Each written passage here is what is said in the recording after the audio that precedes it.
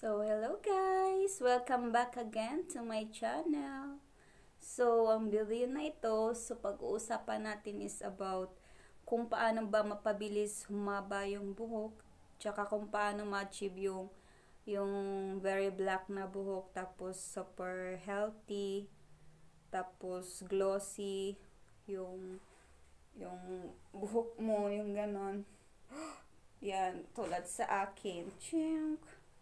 Super healthy, fresh na fresh. fresh na fresh. Yan, super black talaga ng buhok ko. Yan, ganun. Tsaka mabilis lang siya humaba. So, yung buhok ko kasi, ano, ano yan siya. Uh, one time lang din siya na-reband noong 15 years, ah, uh, mga ganun, 15 years ago, one time, nung mga teenager pa lang ako, pinariband ko siya. Kasi, eh, syempre, ganun talaga pag mga teenager pa. So, hindi ko na siya ulit pinagalaw kasi uh, natakot na ako kasi ano, yung maraming nababalita na imbis na sana gumanda yung buhok, eh nung nagpariban, eh nagkandang upaw-upaw yung mga buhok nila. So, kaya inayaan ko na lang yung buhok ko na ganito kasi supernatural naman siya eh, na ganito na talaga siya healthy and super black talaga yung buhok ko. Yan, wala yung kulay-kulay. Super black talaga siya. So, ayun. Ayaw nga pag pagupitan ng asawa ko kasi, ano, nagandahan siya sa buhok ko.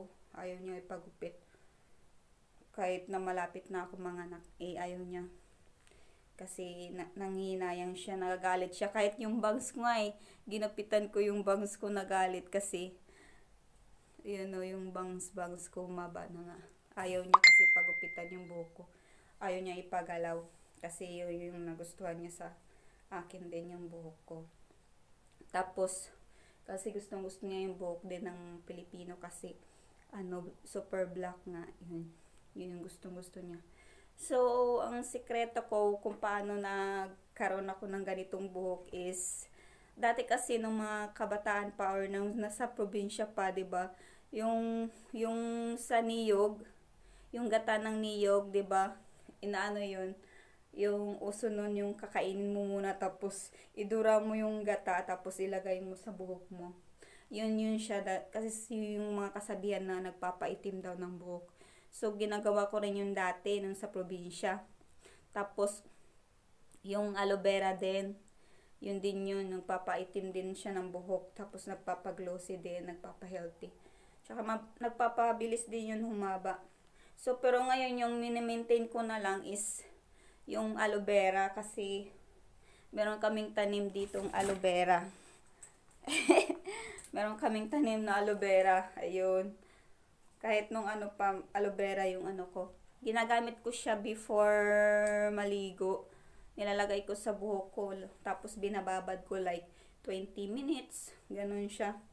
Yung ginagawa ko, wala lang, ano lang siya, yung manual lang din ng pag, pag ano, ng paggamit ng aloe vera. Ayun, yung ganito, yung ginagawa ko, binabalatan ko siya yung aloe vera. Yun kasi talagang effective, effective ito guys. Kasi ito, ito naman yung dating ginagamit ko. Eh. Dati-dati pa talaga. Kahit ano sa probinsya. Yan, kahit gumamit ka nito, maglagay ka nito ng twice a week, before ka maligo. Dati nga ng mga kabataan before matulog eh. Binababad na sa buhok yun. Nilalagay lang siya dito sa ulo mo. Pinapahid-pahid mo lang siya. Yan sa anit.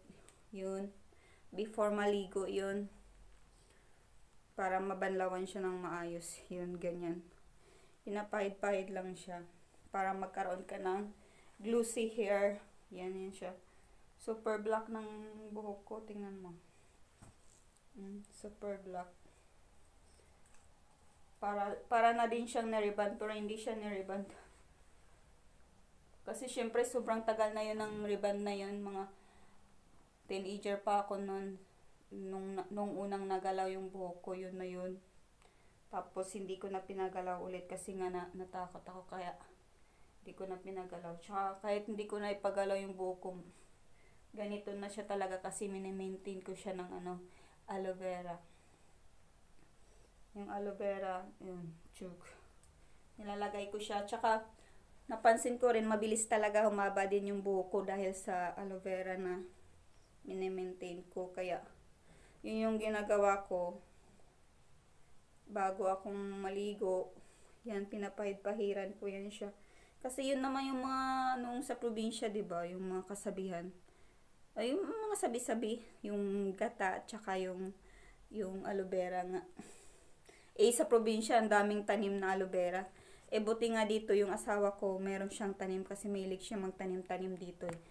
Yun, oh, may, ayun no, mahilig siya magtanim-tanim yung asawa ko. Mahilig sa pananim eh. Ayan, ayan. Mga galing Pinas pa yan siya, mga pananim, mga ganon. Tsaka yung sa likuran ko, mga tanim din yan. Yung iba nga nilabas na namin yung mga pananim eh. Pinaglalabas na namin yung mga bulaklak pa iba-iba. Kasi malapit na lumabas yung anak ko sobrang ka, tsaka maliit lang din yung yung bahay dito na inaupahan. Kaya ayun. Pero maglilip, maglilipat din kami pag ano na. Medyo malaki na yung bata. So ayun. Kasi good for two lang talaga yung apartment na to. Kaya hindi pwede magtanim na magtanim. Pero ang dami niyang pananim. Yun, yun nga. Yan, ipahid mo lang siya dito. Hanggang maubos. Sige, pahid mo lang siya. Yun. Yun, yun. Yung gata, maganda rin yung gata ah. Talagang nagpapaitim din yun. Sobrang glossy din yun. Yung gata. Pero, mas madalas ako sa aloe vera. Kasi yung, yung gata, may, bibili ka pang coconut eh. Yung aloe vera, pag may tanim ka lang, okay na. Yun. Ganun lang yan siya guys. Sobrang haba na yung buhok ko. Ayaw pagupitan ng asawa ko. Kasi nakakapanginayang. Oh, yan. Ang bilis lang yan. Maba. One year. One year ganito. Ay, parang hindi nga one year to eh. Oo nga, kasi tinitrim ko rin pala ito siya. Pag, pag mahaba. Mahabang mahaba. Dati hanggang dito lang to siya nung dumating ako dito. Hanggang dito lang yun sa may boobs nung dumating ako dito. Then after mga 6 months, gan mahaba na siya. Ayun. Ayun na yung ginagawa ko sa buhok ko guys para magka, magkaroon ng healthy, glossy, and super black na hair. Kasi yung mga foreigner, di ba, mahilig din yun sa black. Lagi ko nga inaasar yung asawa ko, sabi ko, magpapakulay ako ng blonde kasi gusto ko ng blonde. Tapos ayaw niya. Kasi gusto niya yung black. Oh, lahat ng tao dito, ay lahat ng tao dito. Lahat ng na-meet ko dito eh, yun una-una nilang napapansin sa akin yung buhok ko. Ang ganda daw, ang ganda-ganda daw ng buhok ko kasi sobrang itim, tsaka straight na straight. Mostly kasi yung buhok nila dito parang wave-wave din ng mga nagki-curl-curl. Hindi, hindi sila mostly dito straight. Wala pa akong nakita dito na straight na buhok. Talagang yung buhok nila, yung buhag-hag na ganun-ganon. Yung buhok nila. Tsaka puro brown talaga. May nakita din akong black, pero ano yun, fake na yun. Napakulay lang yun. Kasi hindi naman sila black hair. Ayun. Yun, sige mo lang siya i hanggang maubos yung isang ano, kahit once a week, okay na yun siya eh. Or kahit, akin ginagawa ko kasi two times a week kasi may tanim naman kami dito eh. May mga tanim kami dito ng aloe vera. Kaya, 'di ba? Kahit ah, kahit anong shampoo naman yung gamit ko eh. Ngayon yung shampoo yung gamit ko is ano ba yun? LV ba yun? LV ba yun? Hindi ko alam na. Kahit ano naman yung shampoo na gamit ko eh. Kasi hindi naman siya talaga gumaganda sa shampoo. nagpapabango lang. Saan talaga siya, yung sa aloe vera talaga siya gumanda. Yung super black, oh, tingnan mo. Yan. Tapos super long. Yun yung ginagawa ko siya. Aloe vera, gata, yung gata lang, minsan lang, minsan, minsanan lang talaga yung gata na yun. Minsan sa isang, sa isang taon. Kasi, wala naman ako sa Pinas eh. Pag nasa Pinas, pwede kahit once, uh, once a month. So, yun, ubusin nyo lang yung isang steam ng aloe vera. Ito mo, Dati, noong nag-abroad ako dati, nagtrabaho eh, naupaw dito. Naupaw yung buhok ko nung nasa Dubai ako kasi super init. Pero ngayon bumalik naman na, tumubo naman na kasi minimaintain ko siya ng ito ng aloe vera. Para pampatubo din to eh. Dati sobrang upaw dito. Tapos dati, ano, sobrang lagas din ang buhok ko dahil noon, noon nga nag-abroad ako sa nangatulong ako sa Dubai, sobrang init ng tubig, tapos sobrang naglagas yung buhok ko. Sobrang nag-dry talaga siya.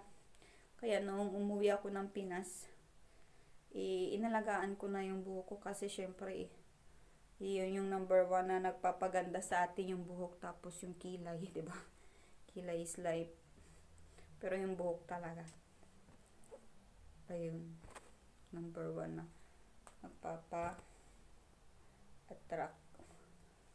So, ayun lang guys, yung sikreto ko kung paano mabilis sumaba yung buhok ko, tsaka kung paano magiging, kahit ikulot-kulot mo to, kahit kulot-kulotin mo siya, after nyan, pag maligo na ako, back to straight na naman siya. O, kukulot siya, kukulot talaga siya. Pag ginamitan ko na yung, yung pangkulot, kumukulot din naman siya. Pero pag, pag once naligo ako, bagsak na naman siya. Balik na naman siya sa straight pag nabasa na. Kaya, ganun. Hindi ko na kailangan magpa-reband. Kasi parang ni-reband na rin yung buko eh. Pag-alaga lang siya. Tapos, tapos dat, uh, sinusuklay ko rin siya ng madalas kasi 'Di ba? Before matulog, 'di ba yung dati yung kasabihan, gusto mong umaba yung buhok mo ng mabilis, suklayin mo na suklayin ng marami beses before ka matulog. So, kung sinisipag ako yun, sinusuklay-suklay ko ng maraming beses before matulog. Kasi para mabilis sumaba yung buhok ko.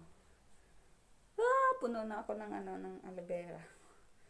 So, ayun na guys. Malapit nang maubos yung aloe vera ko. So, ayun lang yung mga mga tip ko kung paano humaba ng mabilis yung buhok. Tsaka magkaroon ng very black na buhok. Is aloe vera lang talaga yung gamit ko. So, okay guys. Thank you for watching. Sana nakatulong ako sa inyo. Bye-bye.